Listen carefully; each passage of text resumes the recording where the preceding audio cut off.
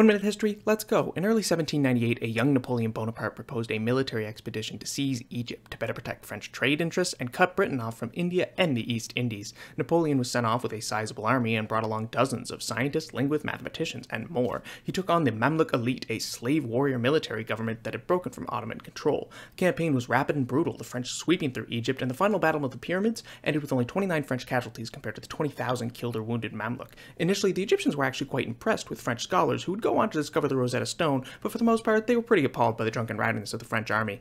While Napoleon made efforts to flatter the Egyptians initially, he would go on to steal and plunder from Egypt. The campaign ultimately failed as Britain sunk all but two French vessels at the Battle of the Nile, stranding the expeditionary force and ending any dreams Bonaparte had there. Bonaparte then led a brutal campaign in Ottoman territory, which he was then pushed out of again until he met a stalemate in Egypt, where he couldn't be forced out, but he couldn't win. He would then dip out to go back to France, where he would pursue political careers. Oh boy,